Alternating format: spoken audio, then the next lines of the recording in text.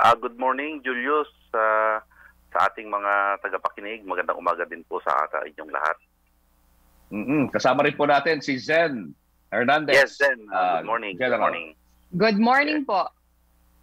Opo, General, uh, meron na po ba tayong update kaugnay po sa iniimbestigahan ninyong uh, vaccination slot for sale dito po sa Mandaluyong at San Juan? Well, uh, nag-utos na ang ating uh, mahal na hepe, si uh, Jal Eliasar. Inutusan niya ang uh, CIDG at uh, ACG na gawing uh, espesyal ang pag-iimbestiga sa kasong ito upang uh, tiyak na hindi na ito pamarisan ng iba pa at alam naman natin na uh, Zen at uh, Julius na ang bakuna ay donasyon at uh, at uh, binili ng ating gobyerno at ito ay pinamimigay ng libre. I understand na meron pong uh, uh, nakausap dito no ng mga tao na binebentahan nitong uh, mga slots na ito. Uh, ito po ba mga tao na ito ipatatawag ninyo at yung mga binabanggit po nila na nagbebenta? Yes, kaya nga isinama ang uh, anti-cybercrime group kasi uh, allegedly nagpasahan sila ng information through uh, online kaya ititrace ng ating uh, anti-cybercrime group yung mga accounts na ito, uh, Julius. Mm-mm. Mm-hmm. Ano po bang kaibahan nitong uh, nangyari po sa Mandaluyong at San Juan? Pareho din po ba? Ganun ang estilo ng uh, modus?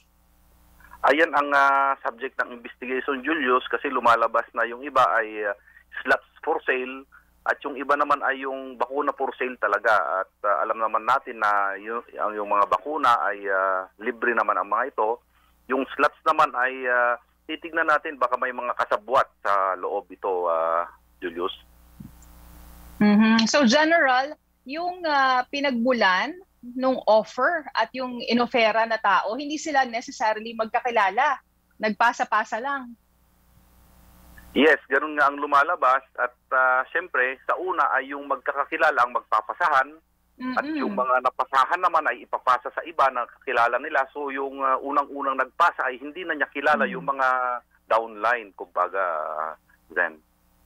Oo, siguro naman uh, kaya no na i-trace kasi hindi sila purely uh, online kasi may pasahan na nangyari eh. Pero if ever sir, ano bang kaso ng mga ito? ay uh, doon sa paglabag doon sa ating batas uh, yung uh, yung sa IATF uh, policies and guidelines alam naman natin na ang mga itong uh, bakuna na ito ay libre at saka yung uh, paggamit ng uh, internet uh, na para ano para ipalaganap ang krimen na ito uh, Zen. Okay, so uh, general um, walang na-consummate pa no na na krimen dito kumbaga more of uh, pag-uusap pa lang ang nangyari nang ito po ay uh, lumantad. Titignan natin ito, Julius, kasi doon sa mga lumalabas sa social media ay uh, may mga resibo silang pinapakita at uh, yun ang gusto nating maimbestigahan na uh, Julius. Oh, so lumalabas sa uh, general modus to, no? Modus operandi ito ng mga taong gustong kumita ng pera. Opo, yan po ay scam uh, kasi alam naman natin uh, na na uh, ang bakuna ay libre tapos yung sa pangalan naman yung pila ay uh, kung hindi ka naka-register ay at hindi ka sumipot ay may ibang kukuha hmm. sa slot mo hindi hindi yung mga hindi naka-register ang pipil ang ang ang ang uh, ang uh, ipapalit sa iyo kundi yung mga sumusunod sa iyo. Mm-hmm. General, yung sa QC ba, um, yun naman ang nangyari doon, yung uh, nagpa-register, nag-back out, tapos uh, nakakuha ng notification na siya ay nabakunahan pa rin under the name nung, nung uh, recipient dapat. Ano yun, nireport pa ba sa inyo o mukhang ano lang, technical glitch?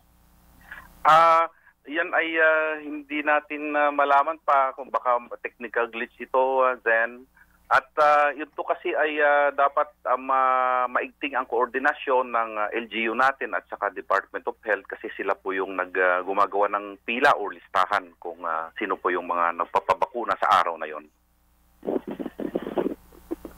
General, iniimbestiga na rin no, ng uh, PNP itong karumal-dumal na krimen po sa pagpatay sa isang transgender po sa Quezon City. Uh, ito po yung uh, nawawalang si Ebeng Mayor Nakita po yung kanyang pugot na bangkay. at uh, meron daw po mga indication na ito po ay ginahasa.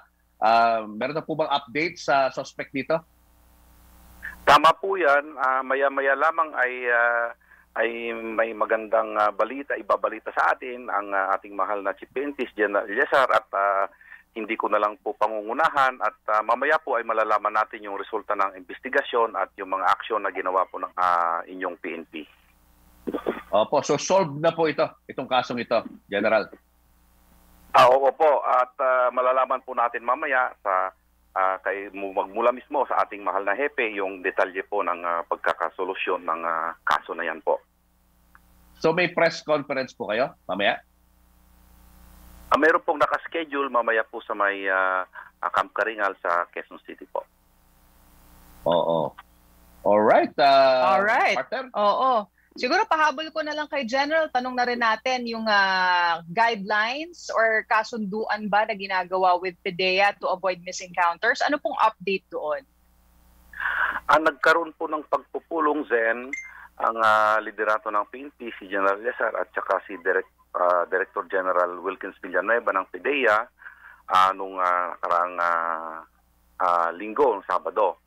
At uh, pinaigting ang koordinasyon, ang uh, naging gist ng usapan ay magiging specific na up to the police station uh, station level ang uh, area na itututukuyin sa aming uh, uh, coordination kasi ang inyong uh, PNP ay nagko-coordinate muna sa PIDEA bago tayo mag-conduct ng uh, operation kaya ang naging uh, usapan ay maging specific na dapat yung lugar na tutukuyin sa coordination form. Mm. Mm. So usually po medyo generic, malaki-laki yung area covered Opo. pagka nag-usap. Oo, din. Kasi ang nangyari kasi ay kung sa coordination form ilalagay ay buong Quezon City ay napakalaki ng Quezon City. So mm-hmm. dapat ay naging specific na ngayon. All right. Meron ba kayong alam po kung may update na dun sa missing counter nung una? And even the second ah, one? Ah, yung sa Uh, mga nangyari naman po ay uh, yung una po ay iniimbestigahan na ng National Bureau of Investigation na mm. uh, hintayin na lang po natin yung investigasyon ng NBI sa bagay na yun po. All right. Thank you very much, Thank General. You, uh, General.